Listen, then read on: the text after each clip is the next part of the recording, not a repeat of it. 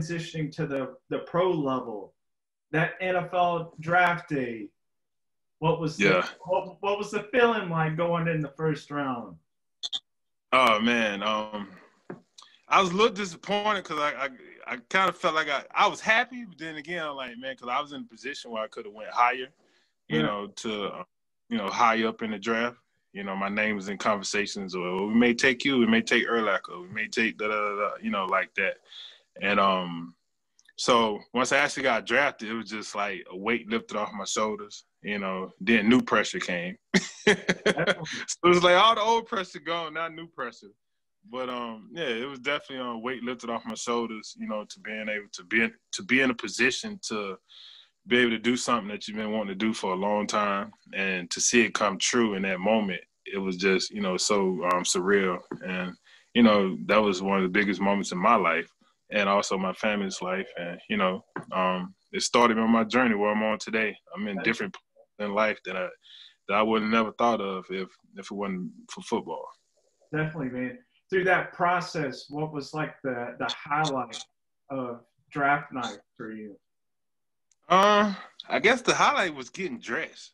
Really? So, yeah, yeah, getting dressed. You know, uh, I wore black and white, which you know I wanted to kind of keep it, you Yeah. know, subtle. So you know, I wore black and white. Just getting dressed and all the thoughts, you know, going through your head. You just reminiscing about, you know, the middle school days. The part. I didn't play part one, but playing in the neighborhood. Um, you know, going to Tennessee and just the experience there, winning national championship, and it's just like all that came together for this one moment right here, you know, and and it just a, it was just a, um, it just solidified all the hard work that you done, you know, that I had put in to be able to get rewarded for that. It was just crazy, man, and you know, then actually hearing your name you know, um, being called, watching the TV, and like, boom, I was on the phone, like, yeah, they go call you, know, they go, we go draft you, da da da. And Next thing you know, my name came up. Like, wow, you know, just a, a real, it was a heartfelt moment. It was just like, man, you know, not like not like I made it, but it was just like, you know, I'm made, I'm, I'm at a different level now, you know. So it's like, I want I want to keep keep being at this level. So that's why I said new pressure came, you know, so just to stay focused and continue to go on your journey as far as you can go. Yeah. Hey, before the draft, did you talk to the Jets at all before they draft? Yeah.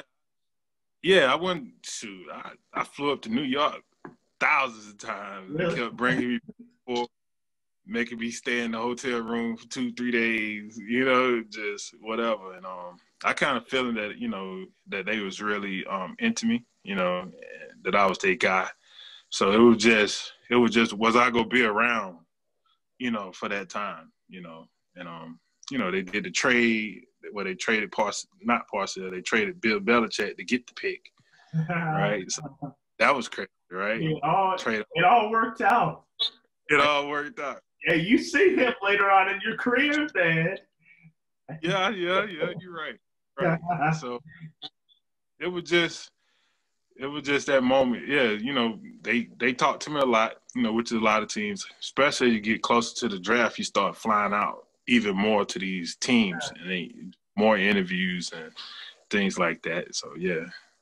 So, wh- what was the top teams that talked to you the most frequent? The Jets was one, and who else? The Jet the Jets, Pittsburgh, um um Jets, Pittsburgh, Ravens, um who else? Um well Giants a little Giants a little bit, but they they knew they was gonna trade they pick. Buffalo, they knew they they was gonna move down. So yeah, um went to Chicago, went to uh, where the Redskins went there a couple times. Yeah, so You would have been name- solid. You would have been solid with the the Steelers, man. Then man, Huh? Ravens. You would have been solid. Yeah, but they got they got um they took Plaxico. They took Plaxico. Yeah. Hey, then the Ravens then the Raven they took my teammate, they took Jamal Lewis. Yeah. So that's who they, But you can't have so, it. and You can't, you can't have enough defensive linemen though. yeah, you're right. You're right. You're right. So I mean I ended up playing it worked out. I ended up playing Rich later on again. Uh, For so sure, man. So, uh, he became the head. so during that process with the Jets, then going to New England, AFC East teams. Right.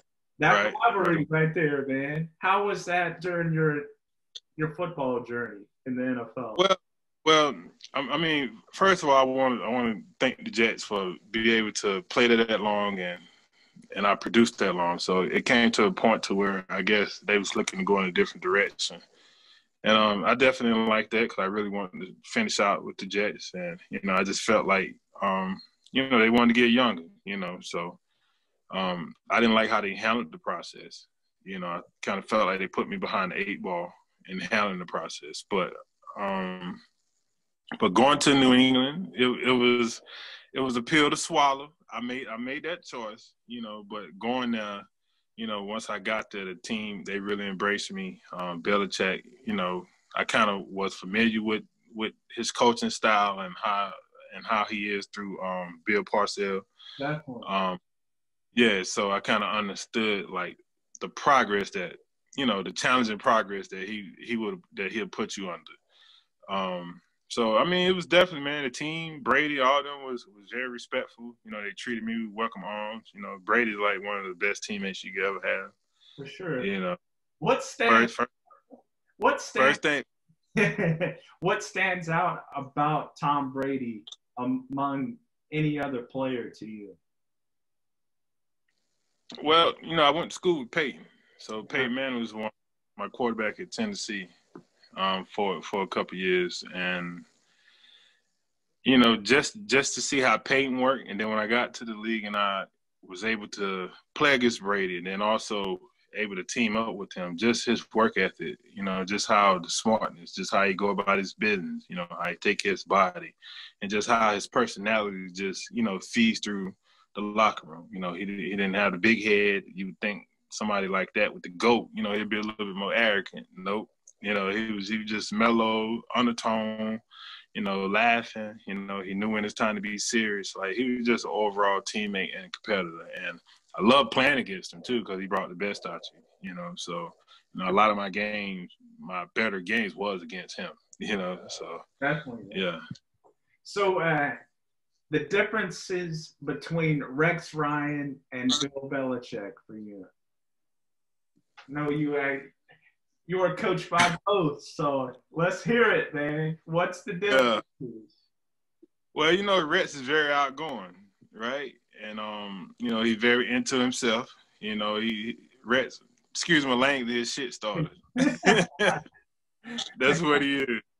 You know, and um Belichick pretty much like, you know, he lure you to sleep, you know, with just his methodical approach and stick to the the bottom line, right? And then game day he beat you, you know. So he pretty much his approach is definitely different.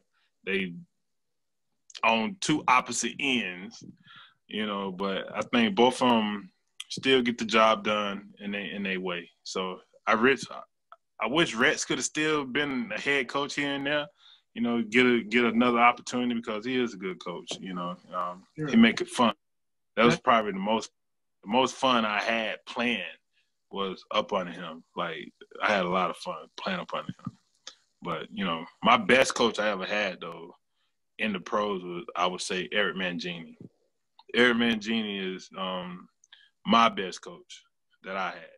You know, so um, you know, and he comes from Belichick too. So him and Belichick similar, right? So they similar. They like identical. And then you having Rex. You know, Rex is very, you know, over the top. Definitely. So during your NFL journey, your best and favorite team bonding experience in the NFL for you? Hmm. Well, I guess be the first. I guess it was every year be the first road game. Like we'd go away, go to road game, and um, we'll have we'll have dinner, have D line dinner, right? So we get together, go to a restaurant, we eat, and then let the rookies pay the bill. So that's like the best. Hey, I bet you eat extra much on that. yeah, well, no, I try. I try not to, you know, overdo it. Yeah. You know, like how they did me when I was a rookie. But you know, I learned from that. I was like, you know what? when it's my turn, I'm not gonna do this. I'm gonna eat sensible, but they still got to yeah. hey, was there any more of that sort of stuff happening during the season on the rookies? Oh yeah, the rookies. The rookies have to take your pads in after practice, your helmets, all that, all year long. Right? they got they, they got to run out and get food for in the mornings on like Fridays. You know, on Friday practice, no, or Saturday, Saturday practice, they got to get donuts and sandwiches, and they got to have food for um, when we travel to get ready to get on the bus and stuff. They got to make sure food is there. So they take out order, they go get the food, and you know, sure that they don't have it, then it's kind of like you know they letting us down a little bit, you yeah. know. But so, you know, we had some good rookies that that really took pride in doing that, you know, because it was just part of the thing. Yeah. You know, our team wasn't real big on hazing, like we really didn't do that.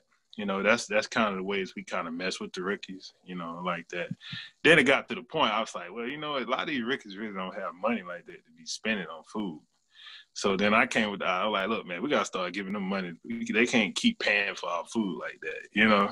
so then on our team, we start basically paying for our own food, giving them the money and stuff like that.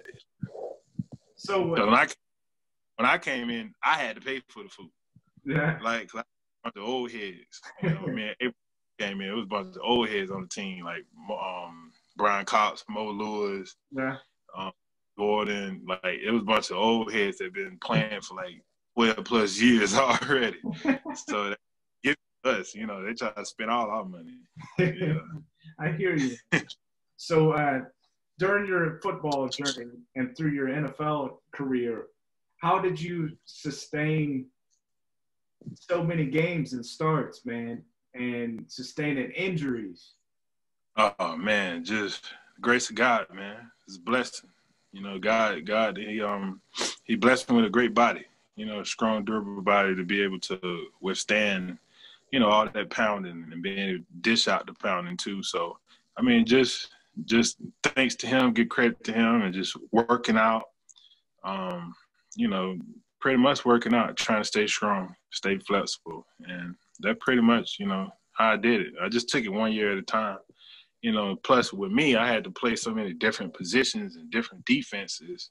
So every year it was like I was in another defense or I have another defensive coach or something. So I would always fluctuate. I'll be in, or in next year I'll be at three, four, and, you know, just completely changing from position to position. And then towards the end of my career, I was, you know, I was playing, well, we played three, four. I was inside a lot playing you know, nose tackle on third down. So I think all that helped my versatility as I got later in, into my career. So I think that would that would help me stay in the league longer. Yeah. Definitely. So uh, you tallied up like seventy something sacks from that that defensive line role. So what move helped you tally up all those sacks and whatnot? Well, I like I wish I would have stayed in the four three. I, I would have over hundred. I would have had over hundred if I was four three. But just being able to go from different positions and be productive in those different defenses is, you know, just pretty much just quickness, off the ball, strength, power. You know, I used a lot of power. I didn't have a lot of freedom like like a lot of guys you see, you know, nowadays are just rush and be free rushing the passer. I didn't have a lot of freedom. I had to play the run a lot, you know, in three four you got a two gap. So it's like you got you gotta you play run first and you pass rush last. You know, so you gotta take care of all the gaps, then you go pass rush. So, you know, um, you know, just being able to bull rush, use my power and my quickness. That's pretty much how I was able to um totally up all that. Definitely, man. So uh, you were saying earlier in our interview about those different positions that you played in middle school. You think that helped you as a pro? Uh yeah, yeah. It helped me a lot. It helped me a lot. Yeah, especially with my athleticism, then being able to go go down and, and be able to stand up some games I would play linebacker. You know, in some games I you know, I have to play the whole, you know, inside. You know, I may play um, some defense, I may line up at Mike linebacker. Like I played different spots a lot of people really don't know. Like I was, I was, I guess, the utility you know, the utility, what they call it, utility knife. Definitely. So I was able to do Swiss Army knife. I was able to do multiple. Sure, hey, yeah, so. your your last season, Bill Belichick knows that awfully well. Like some, yeah, yeah, I'm a Patriot fan, so I know all about you, buddy. And uh, yeah, but Bill Belichick, he knows everything about players and bringing the best out in players as well.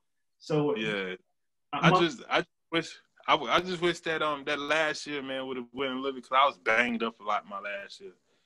You know, I was coming off of hip surgery and and um you know so I signed, end up signing getting into camp late. So you know I just had a lot of a lot of challenging things that I was that I ain't never dealt with before. And then you know Belichick he really had the patience with me. You know and um you know pretty much just took me on the wing. Just look man, just hey just come for the ride. You know.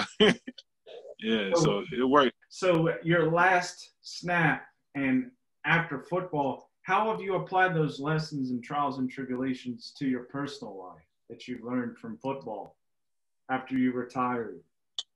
Man, when I retired, man, it just just pretty much is with my family, just being home with my family, um, teaching them about dedication and hard work, you know, and just persevering through things. Um, when things get a little tough, you just, you know, you keep your chin up, you keep moving, you know, understanding that um, the sun coming out the next day, you know, no, no, um, no, um, no hard time will ever last. you know, just like football, you lose a game, you go back to practice next week, put it behind you, just keep moving, get ready for the next game. What advice would you give a younger player that's coming up through college on the journey to the NFL? What advice would you give them? Advice, you know, um, don't take it for granted.